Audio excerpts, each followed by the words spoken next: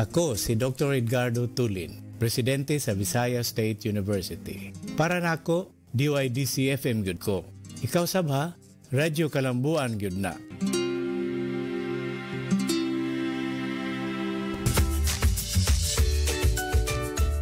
Let x be a number which exceeds its square by the greatest possible quantity.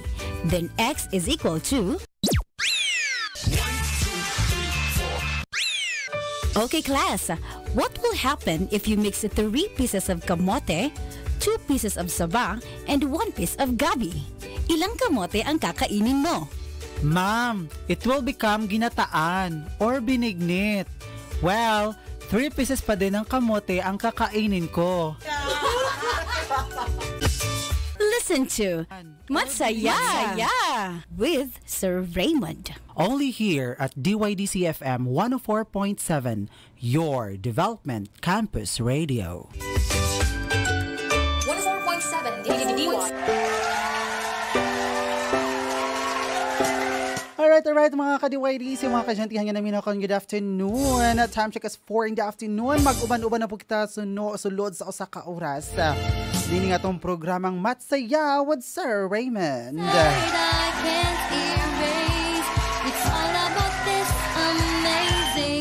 Alright, alright, alright. Good afternoon. Today is November 13, 2020. Adlaw nga biyernes. Gusto na po kapag tulunan once again ang, ato pag uh, hisgutan o ato pag uh, unsa na siya uh, katunan no sulod sa usa ka oras. Alright, so before tayo mag-start, allow me to greet a happy, happy, happy birthday sa tanan-tanan nga naga sa ulong sila mga alanatawhan karon. And uh, good afternoon also no sa ato mga faculty and staff nga namin karon din sa ato uh, istasyon o sa ato tunghaan. O sa Visayas University o labi na sa ako mga kasyentihan nga namin karon. Oo, kay this is other uh, remaining lesson, I guess, or remaining lesson for the midterm uh, period. Oo, so paminaw mo diha pag maayo kay uh, next week no midterm examination na pod ang ato pag ato bangon. Right, once again, our topic for today, we'll be talking about markup, markdown, and commission. Oh, so later on natin mga examples nga ito panghatag ato ni siya explain further ang kaniyang uh, topic or kaniyang lesson. Alright, so station lang mo diha ah. Well, it's at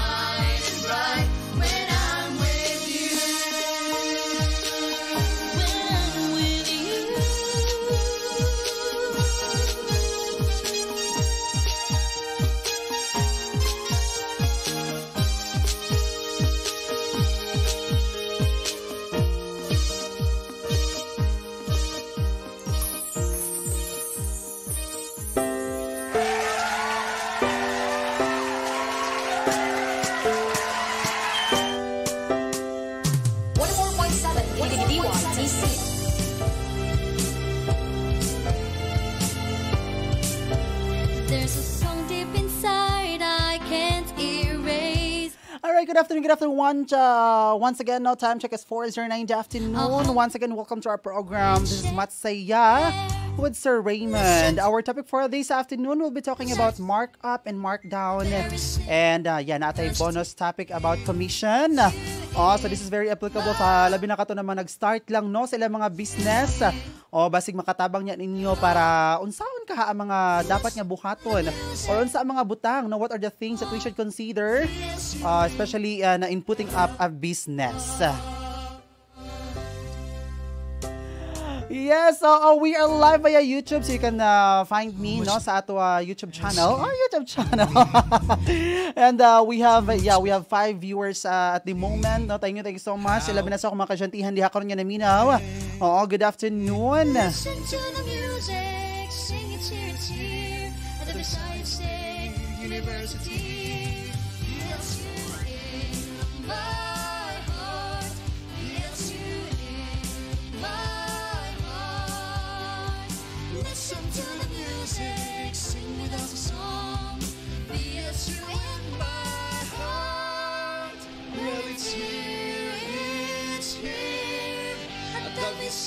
All right, so let's start our uh, discussion now on markup and markdown.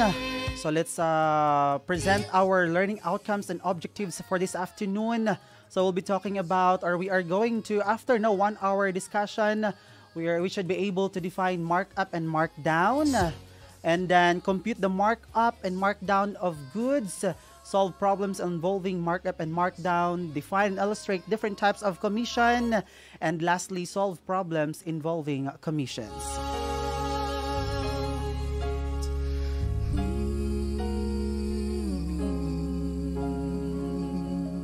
All right, so in business, expenses are divided into two major categories the cost of goods and the operating expenses. So these are the two major types of uh, uh, expenses, no? Or uh, yeah, two major categories, no? Sa sa business that you have to consider ang mga costs sa ato goods kung pila man ang ato gi uh, gi capital no ana and then we have also to consider our operating expenses these operating expenses include uh, but not limited to um, the maintenance, your building, your bills, electric bills, your utilities, uh, uh, the salary or wage no, sa inyong mga workers, transportation, advertisement, promotion, and marketing. So those are just some no, of your operating expenses. So before you can get or before you will add a markup or you will you will subtract a markdown from your goods, you have to consider first how much ang imo gihatag no nga capital for that kind of business. Kay basig niya og uh, malugi ta. So cost is the price of a merchandising company pays for a product. Okay, so probably this uh, lesson might be uh, very helpful no sa kato mga nag-buy and sell no nga negosyo diha karon. Uh, dili man lang gud ta basta-basta nga mopalit sa ato mga produkto unya ato ibaligya. Kasi for example ato siya gipalit og 10 pesos unya ato siya ibaligya og 15 pesos it doesn't mean that you have a markup of 5 pesos meaning nakaginansya nakaana because first again you have to consider your expenses so that you would be able to determine kung naa kay profit no sa imo negosyo. Dili lang kay basta-basta ka mo patong no og ah, amount kay basig niya og gamay ra na siya or it might also no nga dako ra pod na siya unya wala na hino imo palit anang imo negosyo or imo mga produkto. So markup is the difference between the selling price and the cost price. Okay, so uh, all you have to do is to subtract no your price kung pila man ang imo pagpalit ana og sa imo pagbaligya. So sa ako gingon ganiha nga example, kasi for example if you bought a product uh, original cost niya is only 10 pesos and tapos imo siya gibaligya og balik for 15 pesos. So 15 minus 10 that's 5 pesos meaning 5 pesos is your markup, no? Meaning mao na ang imo gitubo no sa imo uh, product nga imo gibaligya.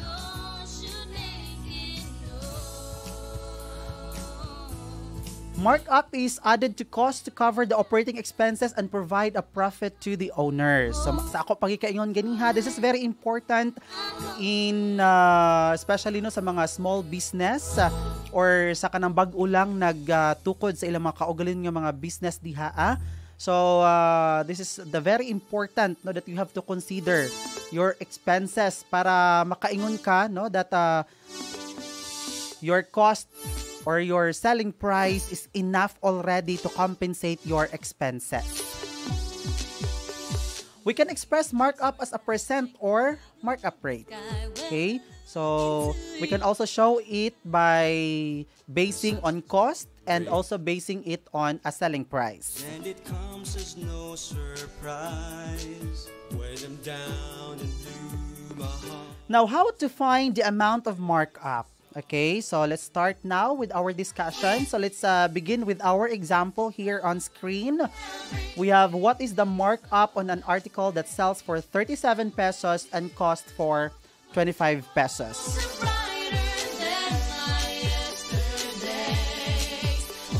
So again, to find the amount of markup, it's very easy. Going back to our definition, to find the markup, all you have to do is to get the difference no, of your uh, original price and your selling price. So our selling price is 37 and the cost price is 25. So 37 minus 25, that is 12 pesos. Right? So 12 pesos ang imo gi-mark up. After considering no the factors, the expenses, okay? So uh, and of course no kung pila pud na siya ka items ang imo produkto, kana magmatter pud na siya kung if, if you bought your goods or your product in bulk then I guess sa ato gikaingon pa last week no or sa ato last uh, discussion we were able to discuss about discount no? So makasave pod ka na if you are going to buy your goods in bulk Alright, hello to our viewers, no, to Sir Buan Andrade and to Miss Perlin Fernandez na ipangutana nga rin si Perlin, Miss Per- Perlin. Pila ka percent man ang dapat i-mark up, sir, sa product para enough rasad nga makaginansya? Alright, sa ako pagkikayong ganiha, there's no uh, exact no amount for that kay again magdepende na siya kung pila ang imong kapital and you have also to consider the expenses like the the bills the uh, the maintenance the transportation. Now after considering all of these uh, factors or uh, operating and uh, cost expenses then kana pwede na nimo ma-determine kung pila dapat ang imo ipatong no imo i-mark up. So let's say for example, uh, ganiha no, 10 pesos ang imo original price, pila ka ang imo uh, dapat ipatong. Let's say ang imo gi gipalit nga items is 1,000 pieces. No, 1,000 pieces o i- i-times na nimo og 10 pesos. So naa na kay uh, 10,000. No, so naa na kay 10,000 capital pa lang na siya, cost price pa lang na siya, no? Cost expenses pa lang na siya. Now, how about the transportation expenses? How about the maintenance, marketing and promotion? Pila man imo na gasto? And then, sa imo mga sweldo, sa imo mga tawo, unsa pa na diha ah, tax, building permits, renta, no tanan-tanan, tanan expenses. You have to add all of this and then uh, i-total i-add na nimo sa imo cost price o sa imo mga expenses and then uh, ana na ka maka-decide og pila dapat ang imo ipatong no nga price para naa kay ginansya.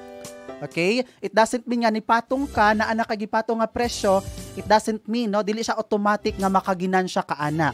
No kay later on we will uh, identify no kung naa kay profit, net profit or basig naa kay maka-experience ka og loss.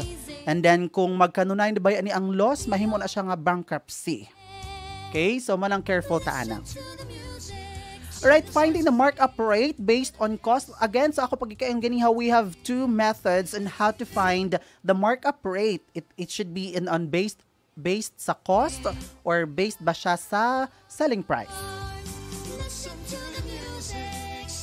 So, kung based on cost siya, in this method, we have to answer the question, what percent of the cost is the markup?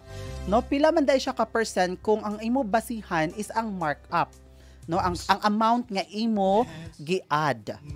So, using the previous problem, katong na uh, 37, no? Katong 37 and 25. So, using the same problem, the rate of markup would be equal to the amount of markup over the cost price because we are basing our rate of markup based on cost. So our denominator here will be the cost price multiplied by 100 and so we can get uh, 12 over 25 times 100 that is equivalent to 48%. How about based on selling price? So in this method, we have to answer the question, what percent of the selling price is the markup? No? So karon ang ato na po denominator, selling price na pod. No? So that's amount of markup which is equal to 12 over the selling price which is 37 times 100. So the rate of markup there is 32.43%.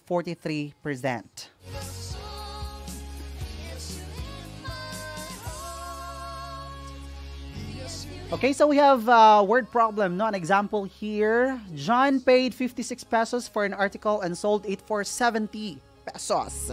The question is, how much, no, is the markup made by Jan? So, again, you have to find the difference only, no? 70 minus 56, so that's 14.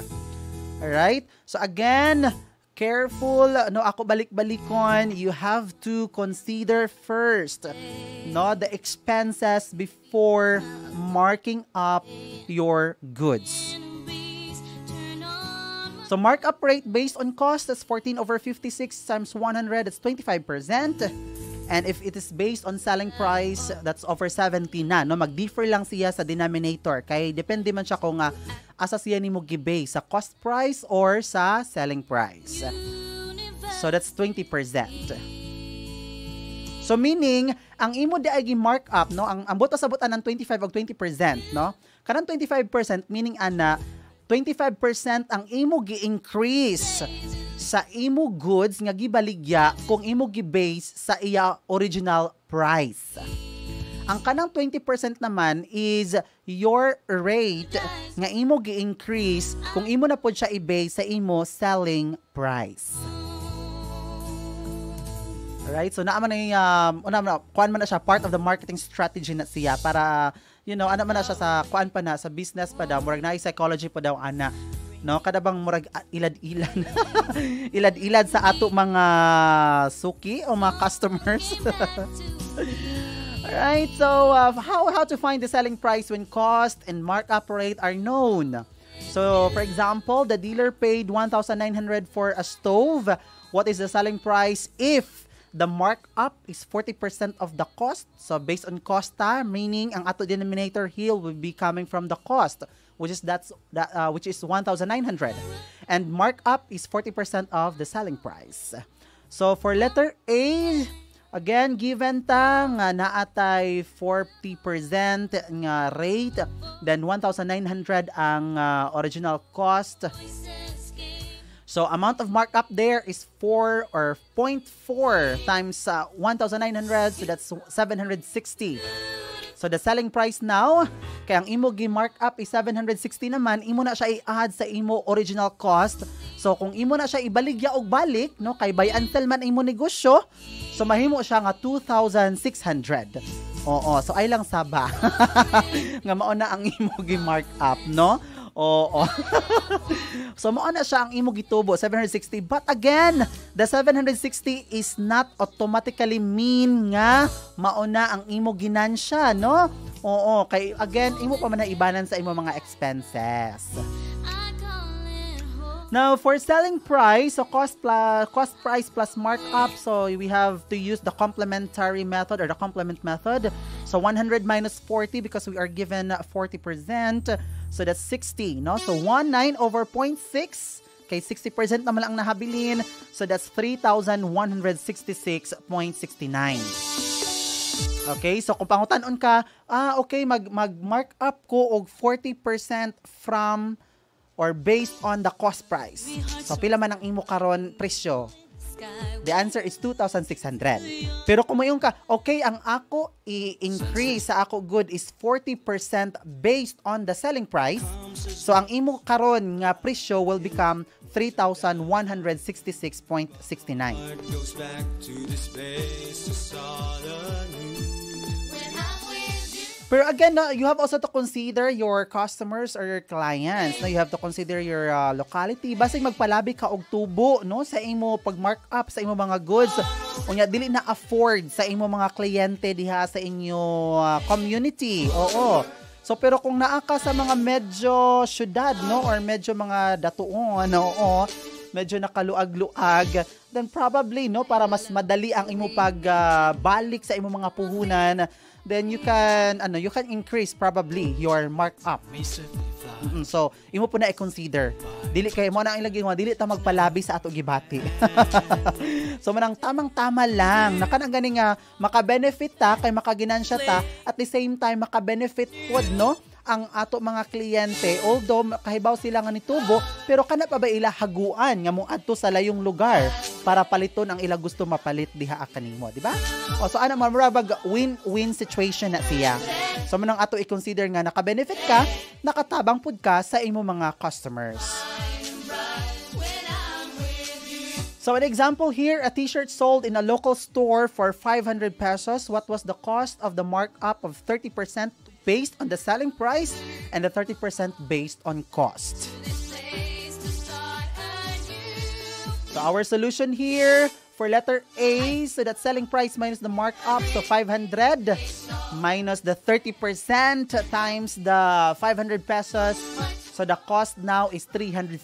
Meaning, before na niya gibaligya, iya na siya gipalit no sa manufacturer ba karon or sa wholesaler nga store. Iya na napalit sa amount nga 350 pesos. Okay, so nya iya gibaligya og 500 pesos.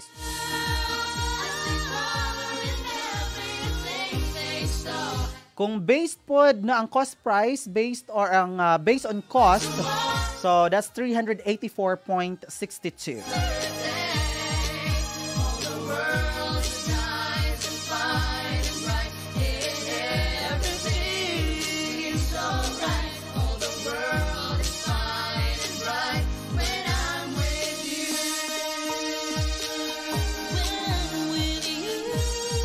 Alright, so naatay special uh, item no nga rin nga ato i-discuss ab- about aning marking perishables. So unsa man mga perishable nga mga goods? Mao ni siya ang kanaganing dali ra madaot, dali ra ma-expire, dali ra malata. Basta uh, a short period of time lang dapat makonsume na ni siya.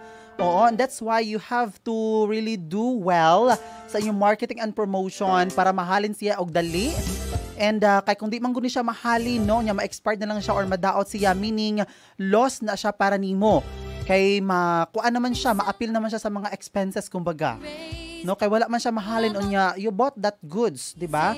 Or those goods, no, imo na siya gipalit so na, naghatag kag capital ana unya dili siya mahalin tungod kay nalata na lang siya o na expired na siya or uh, nadaot siya no?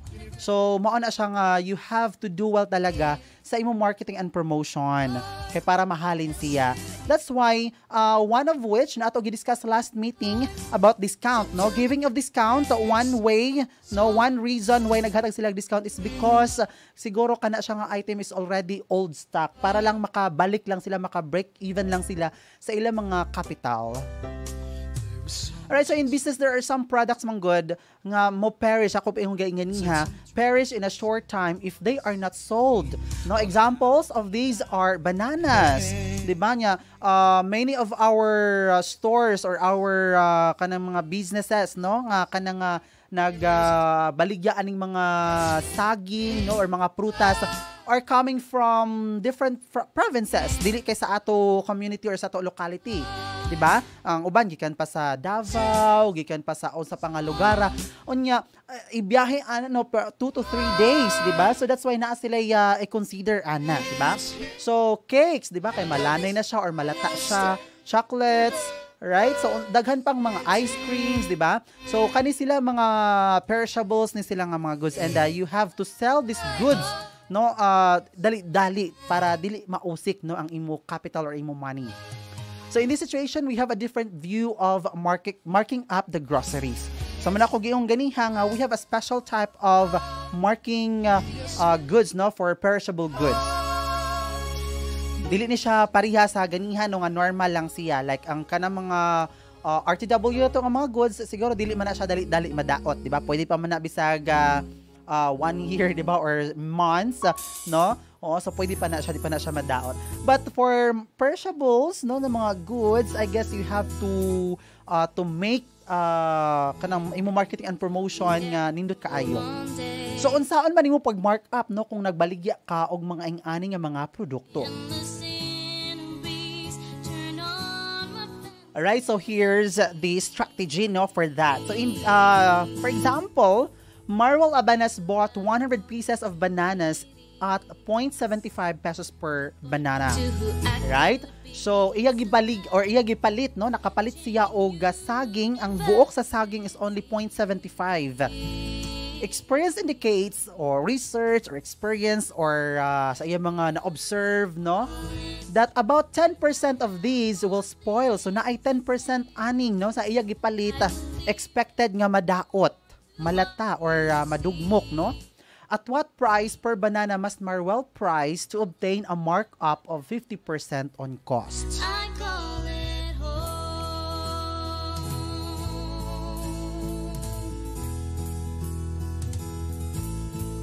Alright, so unsaon man na siya? So solution for that, uh, we have uh, to determine first ang cost niya, no? Which is na ay 100 pieces ka banana. Unya imo na siya i-multiply sa 0.75. So ang iya na bayaran is 75 pesos. And that 75 pesos is your original cost or your capital, no? Your cost. Banana that will spoil given is 10% no from the 100 pieces no of bananas nga imo gipalit. So pila man ang 10%, humana man tang discuss og percentages, di ba? Oo, so you have now the uh, the idea no on how to get uh, the 10% of 100. And the 10% of 100 is 10 bananas. Meaning, expected, no, pasalamat lang tap kung ah, ah, dili madaot ang napulo. Pero, murabag, ang ilagingon pa lang ana, murag nag-anticipate na ta. Kumbaga, no? Ato na lang gi-expect kay para dili ta malugi. So, ato i-expect the worst thing to happen. So, the worst thing to happen there is na ay 10 pieces nga banana out of 100 ang madaot. So ato na na siya i-consider nga kanang ah, rejected na na siya nga item. No? So ang ato na lang i-count karon nga ang imo na lang pwede nga itinda is not 100 pieces but only 90 pieces na lang. Kay nagdidak naman ka og 10 ka buok. So the selling price would become 75, no? Mo na ako imo i-consider ang original price, okay? 75 plus the 75 pieces times 50 nga no 50 because that is 50%, no? Ang given diha ah, is 50% on the cost. Right? So 50% of your 75, so that is equal to 112.5 for all bananas.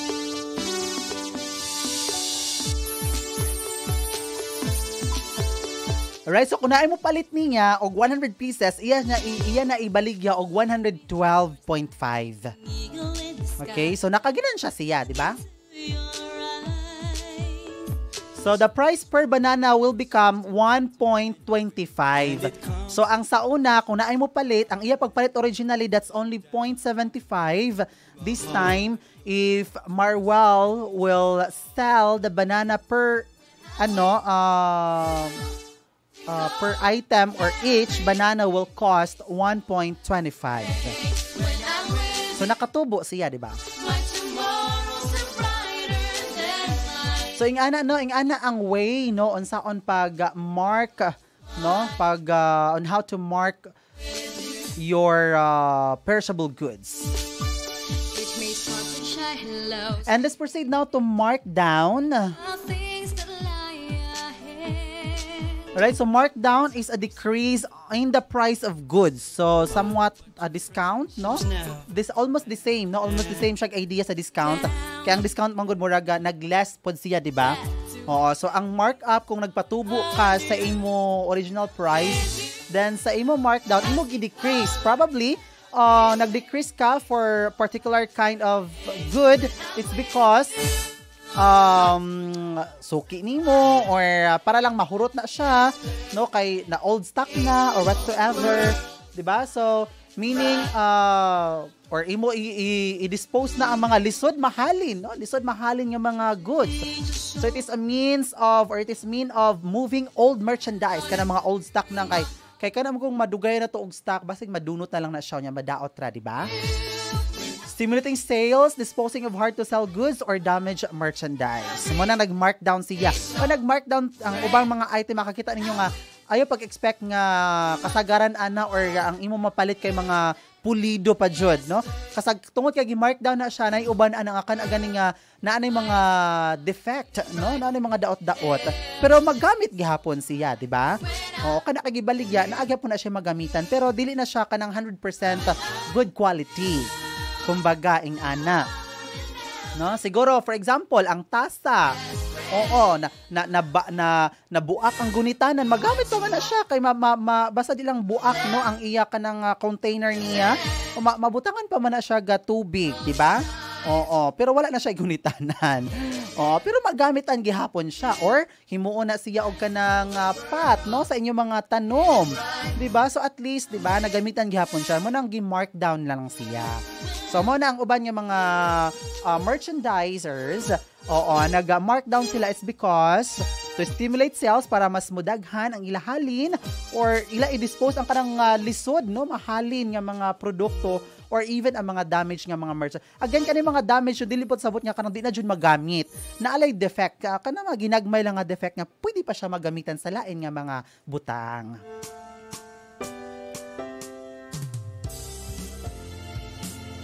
Alright, so kung ang markup kay mag-add ka sa markdown pod, mag-subtract. No? So, mao na siya. So, the rate of markdown is uh, equal to the amount of markdown over the original selling price times 100. And the markdown is the difference between your original selling price and your actual selling price. Listen to the music, see the sights to see. We got a very scenic university. So if a coat that initially sold for 100 pesos was marked down to 75, find the markdown and the percent of markdown. So for letter A, markdown will become 100 minus 75. That's 25 pesos. So nag-markdown kag 25 pesos. And then sa rate of markdown would be 25 over 100 times 100. That's 25%. So nag-markdown ka og 25%. So manang imong nga to, oh, markdown or discounted. 25% sale. Nga na ba, no? listen to the music, So if the base, if it is based on actual selling price, so that's uh 3 or that's 33%, no?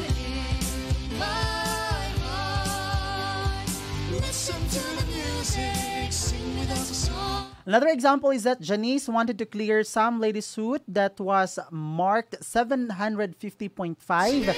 If they were reduced by 20%, what is now the new sale, selling price or the sales price? Okay, so kuha lang ni mo og 20% ang 750, so you multiply. So that's 150.10 and then the new selling price now would become the difference, no? Imo lang i-subtract. So 750 minus 150, that's 600.4. So naka-save sila kaya nag-markdown na. What is the original and new selling price on a dress that was reduced 56.5 or 10%? Okay, so that's 56.5 over 0.10. You convert percent to decimal. So the original selling price is 565. So the new selling price now is 565 minus 56.5. That is equivalent to 508.5.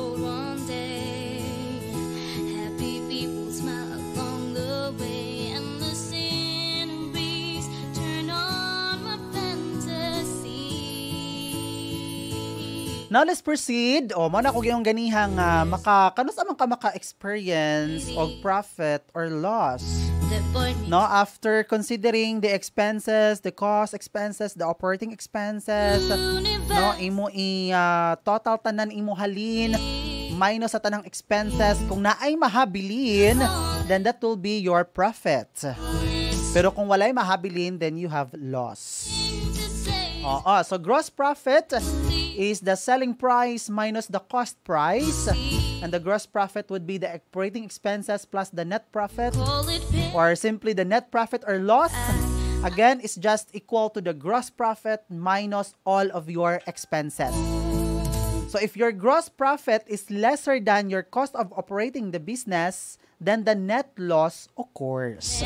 So ano na siya, kung walay mahabilin sa imo kwarta or nag-negative ka, then you experience loss. Right? So mao na siyang imo ah, timanon No? So again, uh, imo um, you add all of your uh, money no nga nisud no that's uh, cash inflow nimo unya minusan nimo sa tanan nimo nga mga expenses kung naay mahabilin then you have profit. Kung negative ang answer then you have loss.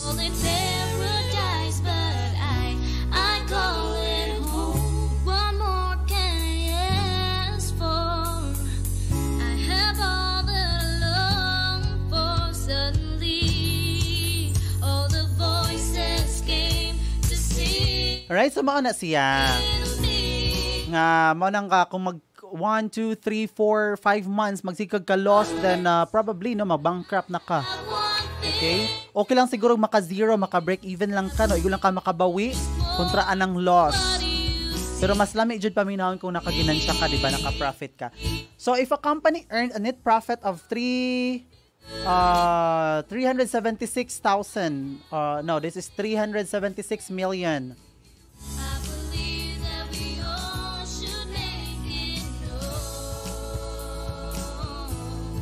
Yeah, so this is 376 or 3 points 3.76 million.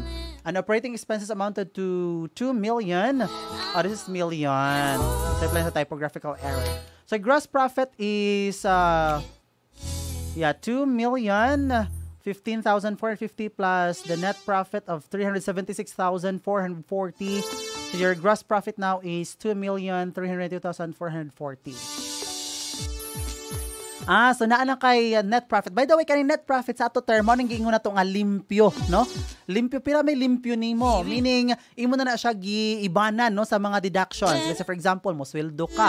O pila may imo sweldo di ay limpyo nga sweldo ka na day. Warm embrace. Bitaw na ay limpyo, o mo nang gitawag nga limpyo, mo nang gitawag nga net profit. Pila man ang imo take home pay, kumbaga, no? Ang imo kada bang giibanan na tanan, sa man ang imo net.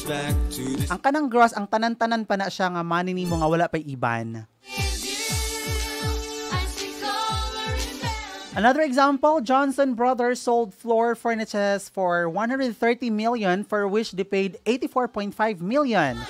They realized a net profit of 8% on sales. So nakaginansya sila, naka-net profit sila og 8%.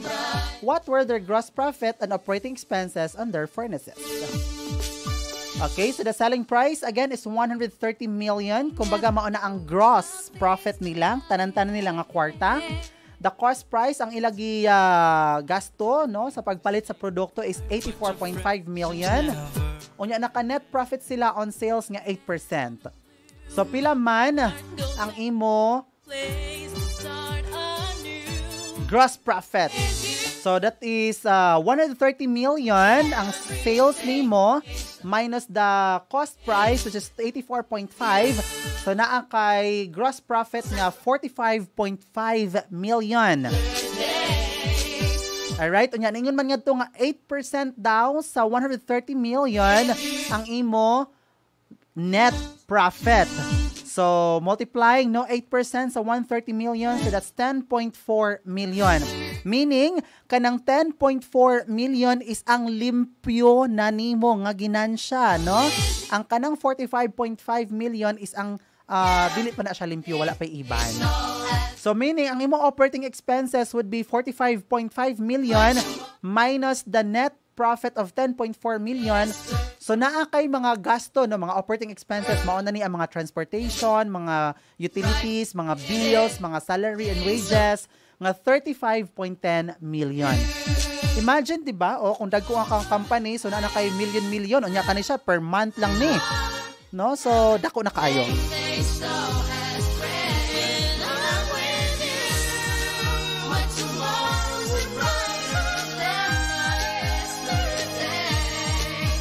Alright, so let's proceed to the last topic. We have, uh, kani siya, murag, uh, add-on lang nino kaning commission.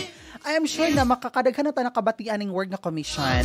And probably in business or uh, in uh, profession or sa mga trabaho, ang kani siyang commission, probably kano nito mabatian kung ikaw agent ka, sales agent ka or gitawag nato nga broker no kanang ana or kana ganing mag ah, ikaw ang magtinda no of sa produkto unya Ah, kung makatinda ka ana nga item na akay komisyon na akay ah, portion sa katong imo na tinda nga mao ang imo mahimong sweldo. So a commission is a way of compensating or compensation mainly used to pay employees who sell the company's commodities or services. So uh, very concrete example for this, no, kay especially mga tumog mga malls, di ba na musugat ninyo, mo-offer din ninyo mga flyers, no, mga flyers o unsa pa na diha ang mga papila. O sir, pagkuha na mo pag loan na mo sir og house and lot, car. Oo, sana all na ay car. 'Di ba? So na ang anak kay kung ah, siya nga agent unya makapalit ka, maka-avail ka no niya na siya commission ato kung pila man gani ang amount ana nga house and lot or amount ana nga ah, car. So the commission is determined by multiplying the number of sales by the commission rate. So kanang commission rate is magdepende na siya sa inyo gisabutan no sa agency or sa company. So before ka ni sign sa contract, you have first to read no, your terms and conditions sa inyo kontrata kung pila man ang imo commission rate. A person or a firm that represents a company to transact transact business for other is an agent or commission merchant or ako yung ganiha broker. So the company for whom the agent has the power to act called the principal. Alright? So we have different types of commission. So mao ni siya. So siguro kung before ka mo sulod og mga kumpanya nga ni offer mga commission, so imo siya pangutan unsa na siya nga type of commission sir ang inyo ika-offer? Is it straight commission? So unsa man ang straight commission? So the straight commission is the first type of commission. So in this type, the salesperson earning or wage is based on his or her commission alone. So meaning, kung wala kay matinda, wala kay sweldo. So dapat maningkamot jud ka nga daghan kag mabaligya no sa imo mga uh, customer, right?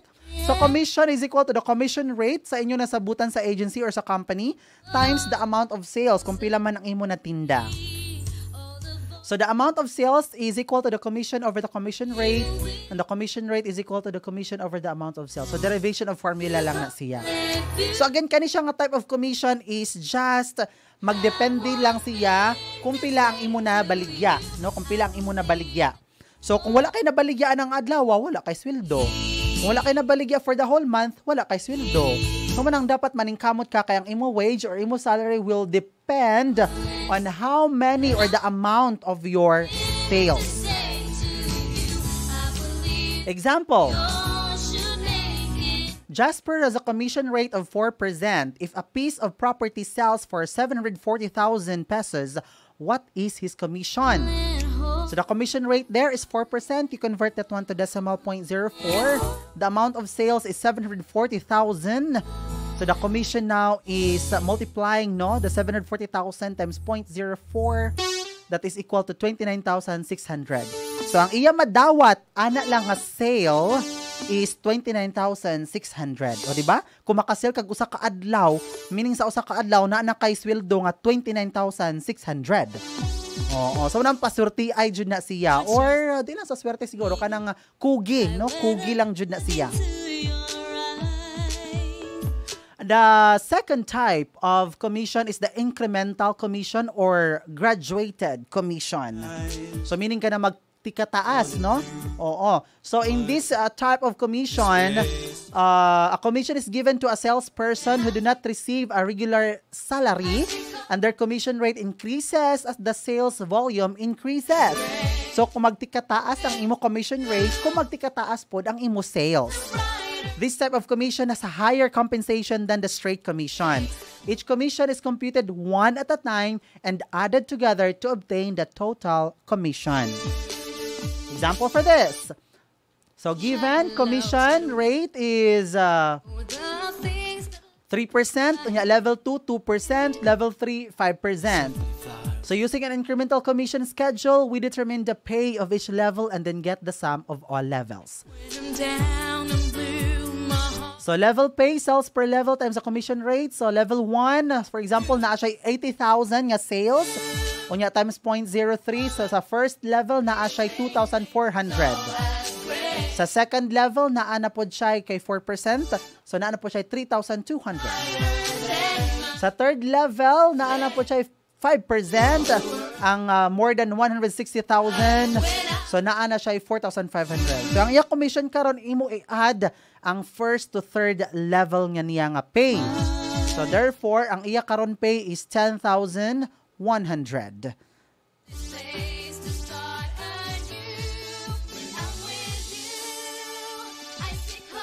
The third type is the salary plus commission. Kani murag nindot-nindot ni siya kay ah, kumbaga bisag wala kay halin, wala kay mabaligya, wala kay sales, automatic nga naa kay madawat at the end of the month or kanus aman ang inyong sweldo, ang inyong payday. No? So salary plus commission is when an agent is being paid a guaranteed salary plus a commission on a total sales made. Kumbaga, bonus lang na niya. Na siya sweldo, for example, 10,000 ang iya madawat kada buwan, plus no on top of his or her salary nga 10,000, naa pa siya commission depende na sa iya sales. So in this type of salary structure, a certain amount of sales at the beginning of each month is usually not eligible for a commission. Example for this, Emmanuel is paid a base salary of 18,000 per month, meaning madawat siya og 18,000, manaaman siya sales or wala. And a commission of 6% over 100 or 1.7 million each month. This month, his sales totaled to 1.5 million. What were his earnings? So given our salary is 18,000, the commission rate is 6%, pero maka-avail lang siya og 6% ka- kung ang iya sales niabot sa quota of 1.7 million. But our problem, wala man nakaabot, so meaning si Emmanuel cannot receive any commission. Kaya wala niya naabot ang quota. So ang iya lang madawat is only 18 pesos, no? Wala siya commission added. Pero kung nilapas siya, let's say for example, 2 million, so naa siya 300,000 nga sobra. So ang 300,000, kuhaan na siya og 6%. Get a very sick Okay, ang 300,000 kuha nag 6%, that's 18,000. So aside from the 18,000 per month, plus 18,000 pa jud siya. Okay?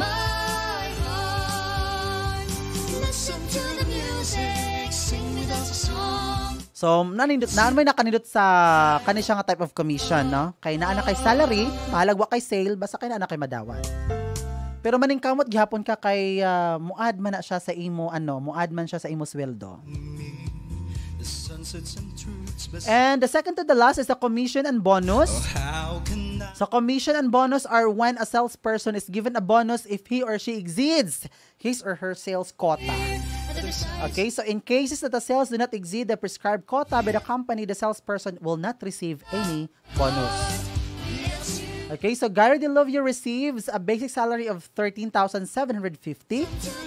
He also gets a bonus of 5% of the amount by which he goes beyond his quota of 75,000. For February, his sales amounted to 128,000. What were his total earnings? So ni, ni sobra no sa quota ang iya. So meaning makadawa siya sa 5%. So naa siya 13%, 750 nga salary. Okay, so ang iya pa jud commission karon will be 128 minus 75. So ni sobra siya og 53,000. So 53,000 times 0.05 that's 2,650. So ang iya karon salary would become 13,750 plus 2,650 is equal to 16,400. So mao na ang iya madawat for the month of February. And then we have the commission with override. So commission with override is when a salesperson earn a commission on his or her sales and also earns commission from the purchases of his or her representatives. Kumbaga, gitawag na to nga networking. No? So naa siya madawat sa iya mga sales unya sa mga representatives pod nga under niya naa po siya madawat ato nga mga sales. Mo nang gitawag nga murag networking siya nga idea, no? So mo nang nga iya jud dapat i-encourage, iya i-motivate ang iya mga subordinates. May paningkamot mog tinda kay kung naay mahalin sa mga subordinates, naaman siya share pod nga makuha. So let's say for example, Chrysler Corduva receives a 6% commission on her sales. She supervises 12 sales representatives and get a 2.5% override on all purchases. The representatives made sales of 48,300 and she made sales of 9,400. What were her total earnings? So given that commission rate is 6% or 0.06, So ang iya sales sa iya kaugalingon, no? Iya kaugalingon paningkamot, that's 9,400 times the uh, 6%. Okay? So that's 564. So manang commission, the first commission. Alright? So i-add pa na sa commission nga makuha niya sa sales sa iya representatives. So ang iya representati- representatives kay naka-salesman og 48,300, kanya 2.5% of this. So that's equal to 1,207.5. So ang iya commission which is 564 plus the commission nga iya makuha gikan sa iya representatives. So naa siya total nga 1,771.5. What more can I ask for? I have all that I long for. So And the last type is a draw against commission. Draw against commission is when a salesperson is being paid in advance of sales and later deducted from the commission earned. So nag-advance siya, nag-cash advance. Sir, mag-cash advance ko sir kay na ako'y gamitan sa ako kwarta. Unya at ah, sa huulhi, ah, i-deduct na lang kung pila na ang iya sales kung na utangan pa ba siya or naapay sobra sa iya sweldo. So the draw against commission should be lesser than the projected amount of commission. So of course, dili kay magpalabi pud ka og ah, advance no og kuha sa imo cash kay basig dako na hinuon kag taplunon. So it should be projected. Okay? For example, Feby Codal is a salesperson for Kasamas Corporation. The company's pay the company pays a 7.5% commission on sales and gives Feby 8,000 per month draw against commission. If he receives his draw of the beginning at the month of the month and then sales 960,000 during the month, how much commission is owed to Feby?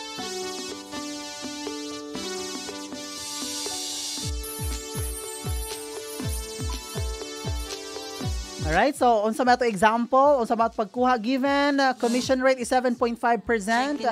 Hello to Fernando Comandante, grabe ha.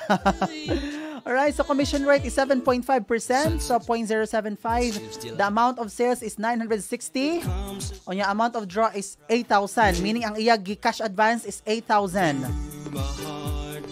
To determine the amount of commission owed to Feby, we need to find the amount of commission undeducted is draw against commission. So the commission now will become uh, 0.75 times 246,000 is equal to 18,450. Okay, so the commission would be 18,450 minus the 8,000 nga iya amount of draw. So naapay dawatunon si Feby nga 10,450. So wala siya utang sa company. Instead, naapa siya kuhaunon, no, naapa siya kuhaunon nga 10,450. So di ba ang ana makamotivate kung commission based ang inyo sweldo. Pero mas nindot nindot jud siya kung naa na kay sweldo daan bisag wala kay sales. kay delikado wala kay tinda so wala kay sweldo. Alright, so references. Uh, oo, so these are our references. And then, uh, thank you so much, no, for uh, joining me here. So that's all for today. We are done with our discussion. Thank you so much for joining me until uh, 5. O sa ka oras, sakto-sakto lang, Jod. So I hope nga naamoy nakatunan. Labi na sakto mga mag-put up o nag-put up na sa ilang mga gagmay nga mga negosyo. So again, you have to consider first your operating expenses, your capital, your cost expenses before marking up and before marking down your goods. And if you're planning to apply for a job sa mga commission-based nga mga trabaho, I guess you have to choose uh, sa mga company or mga agencies nga mohatag ninyo og makasiguraduan no kung asa ka makakuha og sweldo. Pero that's one way man good to motivate you to work harder and harder, di ba?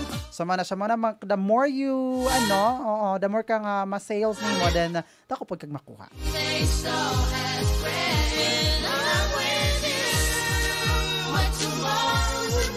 Alright, so uh, before taman namilit, no, allow me to greet happy, happy birthday sa tanang mga nag-birthday karon. Alright, so happy, happy birthday to Lonnie, no, to Shentaro diha sa Plaridel.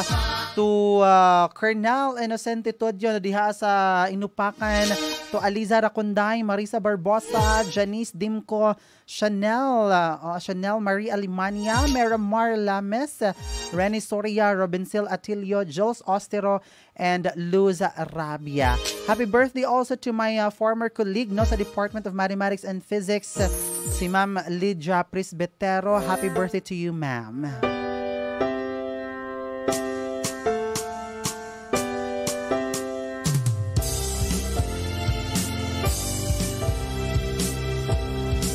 Thank you so much also sa mga nag-join no, sa ato uh, live streaming or live stream na to. Thank you, thank you so much. You can, uh, sa itong mga kasyentihan nga wala naka-join, uh, naka-save ni siya, pwede mo ma-play, no, ma-replay ni ninyo.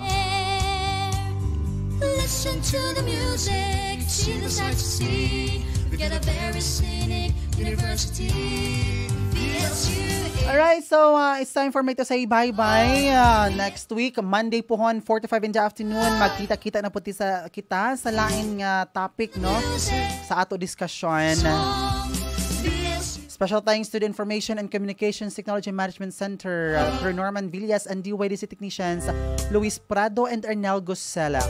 On behalf of the DYDC station manager, Dr. Cristina A. Gabrillo and radio engineer Shanville Gonzalo, this has been your host, Sir Raymond, saying bye for now. Happy weekend, happy Friday. Enjoy your weekend, mga ka-DYDC. And magkita-kita tara tapuhan. Thank you, thank you, and bye-bye.